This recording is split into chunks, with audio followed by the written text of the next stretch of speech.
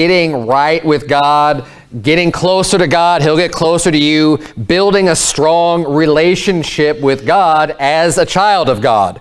That you want to resist the devil, you want to submit to God, you want to be humble before God, you want to do what God's telling you to do and keep getting closer and closer to God and he'll keep getting closer and closer to you and you'll be strengthened and just keep improving and growing as a child of God. But that phrase, resist the devil and he will flee from you, is a promise in Scripture.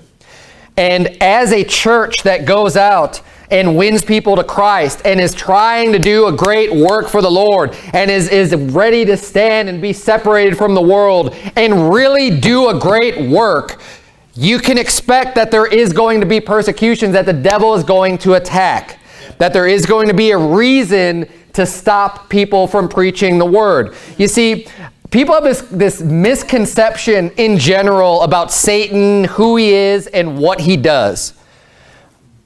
All too often you hear people thinking, you know, saying, you know, that Satan's down at the bar and convincing people to get drunk and all this other stuff. And you'll find Satan at the casino and you'll find Satan in all these wicked places. You know what? Satan's not hanging out at those places.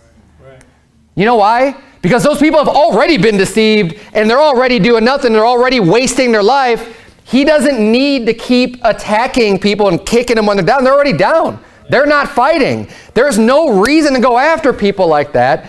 But the reason why people think that way is they just want to blame everything on the devil instead of just facing their sins and getting right with God. Now, it doesn't mean that attacks aren't real from Satan. Of course they're real. But don't blame all of your sin. Oh, the devil made me do it. Right. Okay? We can't we, we cannot just just not acknowledge our, our own responsibility for the actions that we take. Now, we're going to go through some examples. We're going to see how Satan does withstand people. And Satan does talk in people's ears, and Satan does get people to sin against God. Yeah. That is a reality. But we still can't just blame him. I mean, you go all the way back to the Garden of Eden. What happens? Satan tempts Eve and lies to her and gets her to sin against God. And then Eve gets Adam to sin against God. And what do people do? They start blaming everybody else. Oh, well, I mean, and it wasn't me. You know, Eve, the woman that you gave me, she's the one that, that caused me to eat. You, you gave her to me, God. I, I mean, she's the one that made me do this. And then she's just like, well, I mean, the serpent, he, you know, he was here in the garden. He told me to, to do that. You know, so you kind of pass the buck. But you know what? They all get punished for it. Yeah, that's right. They, they, they all have their own responsibility. So um, attacks from the devil are going to be real. We need, one way we're going to have to resist the devil is understand who he's attacking, why he's attacking, what he does. And we're going to go through a lot of different things. But the, the main focus, what I don't want you to lose sight of is you have to resist the devil, and if you do, he will flee.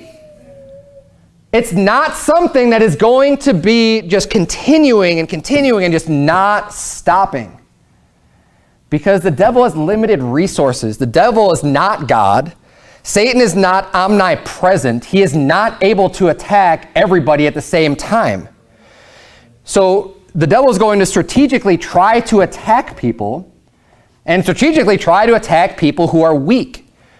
All the more reason to remember resist the devil because if you're feeling weak, if you're weak in a certain area, you have to try to muster the strength to resist so that you don't fall to the temptation that maybe Satan's trying to attack you with, to get you out of the fight.